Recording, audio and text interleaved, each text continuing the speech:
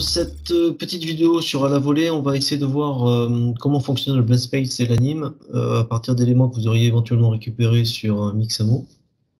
et puis on va essayer de faire un peu le parallèle également avec ce qui existe sur le jeu avec notamment le third person character. Donc je vous montre d'abord le third person character justement. Euh, en gros, si on regarde comment fonctionne le third person character, je vais revenir un peu en arrière, on a le state machine, hein, je vous rappelle qu'on l'a en faisant un clic droit, add new, new state machine. Et à l'intérieur de ce state machine, on va retrouver euh, les éléments en fait euh, logiques d'animation du personnage.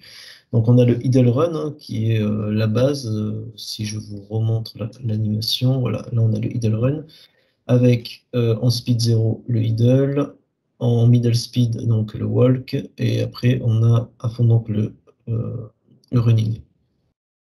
Donc je rappelle également que si vous voulez bien associer la démarche de votre personnage avec son déplacement par rapport au sol, vous pouvez toucher les rate scale qui sont ici pour bien faire attention que lorsqu'il marche, on ait bien l'appui sur le sol, qu'on a l'impression qu'il glisse ou qu'il vole un peu euh, au-dessus du sol.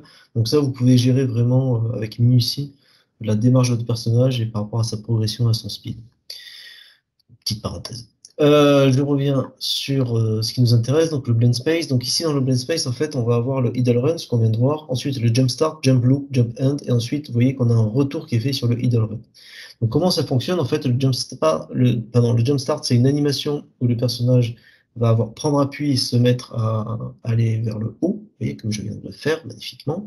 Le jump loop, en fait, c'est quand il est euh, en train de voler, donc lorsqu'il est en l'air. Donc euh, sur un dribble, le mannequin est un peu comme ça. Hein.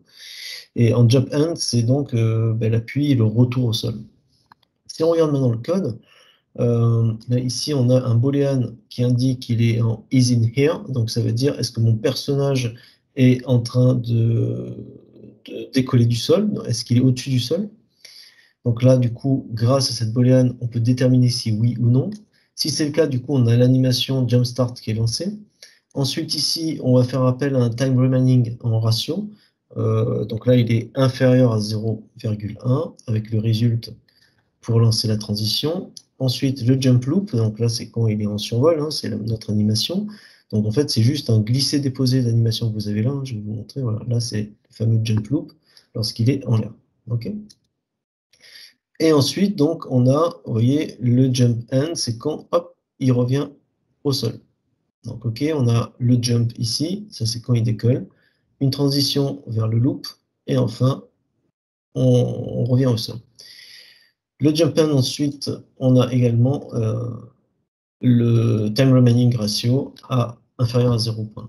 Donc, si vous récupérez ce code-là et que vous récupérez une animation sur Mixamo, alors, sur Mixamo, il n'y aura peut-être pas besoin de prendre le jump start et le jump end. Euh, vous pouvez, et ils y sont, mais le problème, c'est que euh, l'animation où le personnage est en l'air, il est un peu ridicule, c'est un peu, il est un peu comme ça. Ouh, je vole, c'est pas terrible. Euh, mais sinon, vous avez juste le jump tout court. Hein. Vous pouvez très bien faire juste un aller vers l'animation de jump. Vous avez un personnage, c'est une fille euh, avec un t-shirt rouge et des cheveux noirs. Vous verrez ça sur Mixamo. Donc, euh, l'ai déjà montré dans une autre vidéo d'ailleurs. Donc, elle prend appui, elle prend son élan et juste, elle fait un jump. Juste un jump. Et donc, vous pouvez faire juste un petit aller-retour en plaçant donc le code de is in here dans, l'élément qui est ici et ensuite le time ratio pour le retour. En exemple, je vais vous montrer euh, justement ce qu'on les étudiants de Mao The Last Dream ont fait. Euh, donc là, en fait, on rentre à nouveau dans le state machine. Dans le state machine, on a donc plusieurs animes. L'animation du jump start, jump loop et jump end. Euh, donc, il est identique du coup de notre personnage, ancien personne de caractère.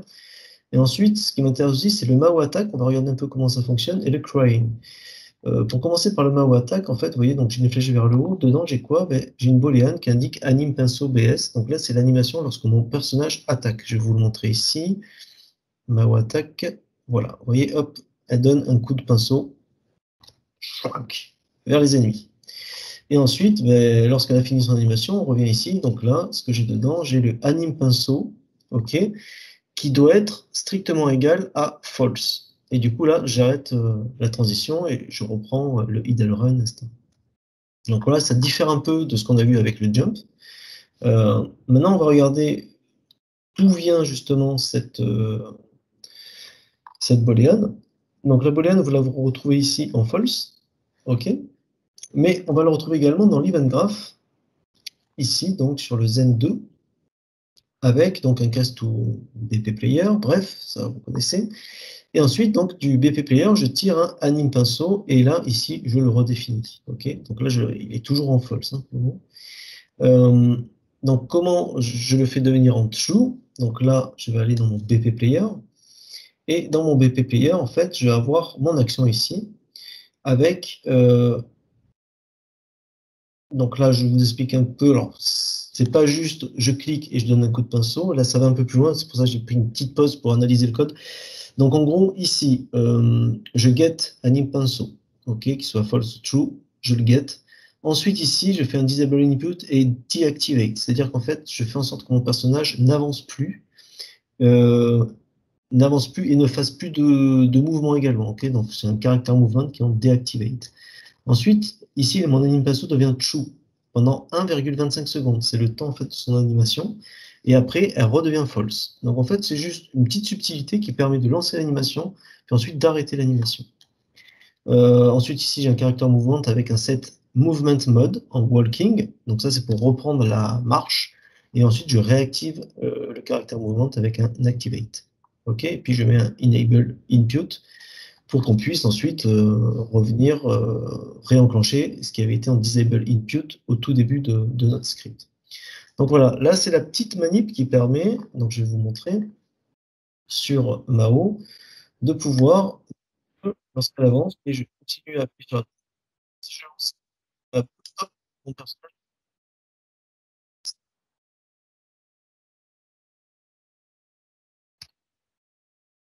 Euh, voilà, pour finir, donc on va juste regarder le crying euh, rapidement, mais vous avez compris le principe en fait. Euh, ici, je suis dans le sort personne. Voilà, je vais revenir ici. Le crying, en fait, c'est juste une boolean avec un player is dead. Donc là, en fait, player is dead, c'est si le personnage. Alors, dans le jeu, c'est pas si le personnage meurt, mais si, si les ennemis ont réussi leur objectif, du coup, on a notre progress bar qui tombe à zéro, qui peut être identique à une barre de points de vie. Euh, on peut lancer une animation d'une mort, que vous pouvez trouver facilement sur Mixamo d'ailleurs. Ici, en fait, la barre de vie, c'est la défense du temple. Si la défense du temple tombe à zéro, du coup, notre personnage se met à pleurer. Donc, on a le crying ici avec juste la booléane. Et donc, euh, où est notre petite Mao tout triste? Elle est dans crying, voilà, ici. Donc, j'ai pas le preview. Je vais le lancer, voilà. Là, oh, mon Dieu, voilà. OK euh, ben voilà, donc voilà, vous avez compris un peu le principe euh, du fonctionnement. On peut, juste pour finir, regarder un peu le crying, peut-être dans notre BP player. Il doit être euh, quelque part. Alors non, notre, alors oui, justement, c'est pas lié au point de vue de notre personnage, mais c'est lié à un goal of enemy, qui est le but des ennemis, et c'est les ennemis qui font baisser la progress bar du goal of enemy. Voilà, on l'a ici. Donc, vous avez un eventic qui va analyser frame par frame, hein, l'eventic, si euh, la valeur est à 0. Si la valeur est à 0, du coup, player is dead devient true, et du coup, ça lance l'animation avec, au bout de 5 secondes, le lancement du level map game over. Voilà, vous avez vu euh, ce que je voulais vous montrer en fait sur l'anime et le blend space. Euh, si vous avez raté la partie comment importer des animations via Mixamo, etc., je vous invite à regarder la vidéo. Allez, ciao